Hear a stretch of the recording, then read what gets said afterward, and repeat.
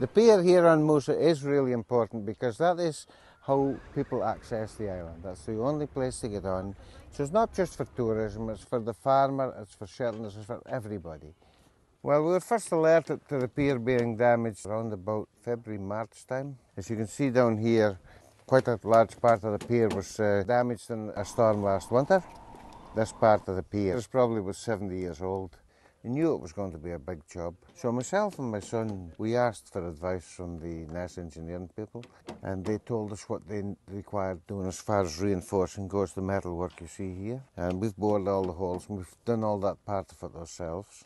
And then Ness engineering came in and uh, they've put up all this wooden part of shuttering. Since we're having to do this job and it's quite a big job, uh, we're resurfacing the whole thing, so hopefully we won't have to do any more repair, but that'll be a good quality pier for a long, long time to come. To get the amount of concrete required in here to resurface this pier and to fill up that hole, we looked at all the different options and we opted for the helicopter option, lifting in hoppers full of concrete. They can transport about three quarters of a ton at a time. It's just one nautical mile from the pickup point the concrete mixing truck puts the concrete into the hopper, the helicopter picks it up, takes it here,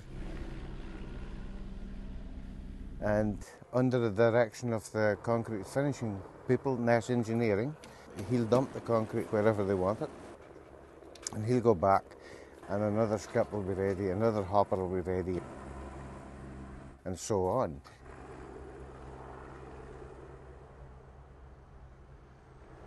And that'll go on until the pier is completed. You can see it's going to be a bit thicker at its point where it receives the most force from the sea. So that's giving it that little bit of extra strength, but all that weight of concrete, I, I think, you know, it's not going to move again.